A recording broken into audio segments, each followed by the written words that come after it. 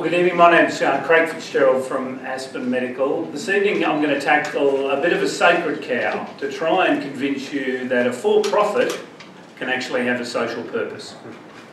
And I'm going to use the Aspen lens to talk you on our journey so far.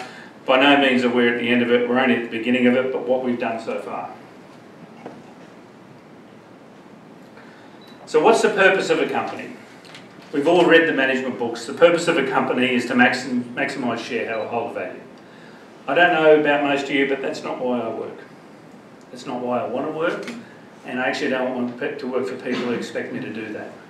I want to be motivated, I want to have purpose, and I want the organisation to give me purpose. And I thought, I think most of us want that. I'll just read a quote here from the book uh, from Tom Peters and Robert Waterman, who wrote in their book Search for Excellence Companies that develop a philosophy and live the philosophy that invites everyone in the organisation with overall success of the company will benefit. Ironically, if you have a motivated team, then in turn you stand a good chance of increasing shareholder value. It makes sense. It's not rocket science. If you've got motivated team members, and I use the, I use the term team members, not employees, motivated team members, then the company has got a good chance of success. You see these titles here. Most of you who've been looking at business over the last seven or eight years notice there's a change. All these titles here, add social enterprise, add Gates, uh, social capitalism, add all that in there. What all these have in common is a belief that business can make a profit and also serve a social purpose. Difficult, we'll have many naysayers and there's many businesses that don't do it, but also there's a lot that do. So how do you get to this point? How do you try? So this is what this is about our journey. First of all, it's a bedrock. It's a bedrock in CSR and philanthropy.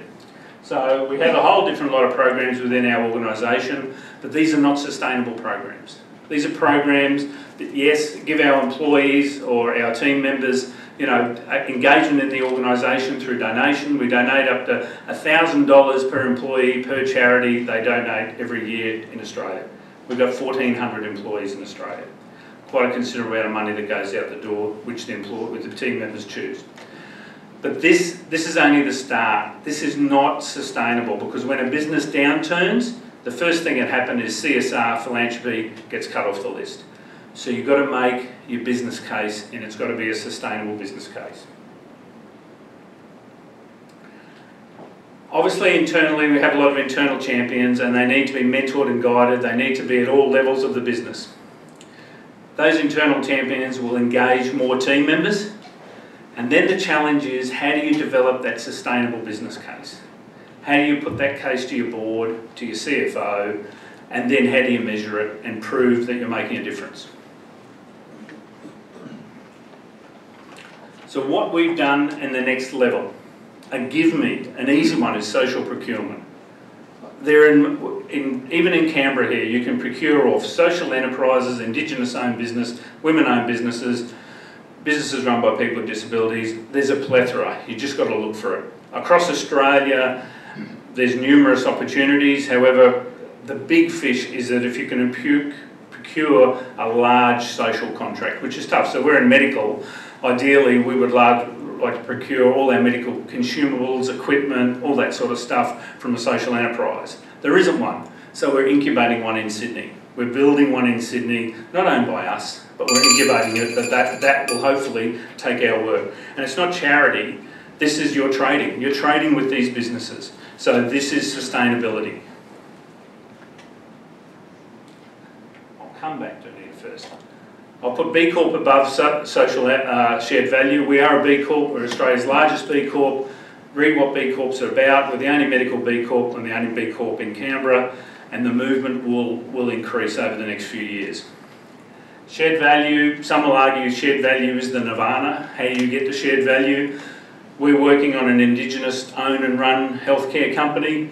That's our nirvana of shared value. So we're, we're on that trail, but it's a it's a you know it's a it's a massive leap of faith of the board, but that's where we've got to get to.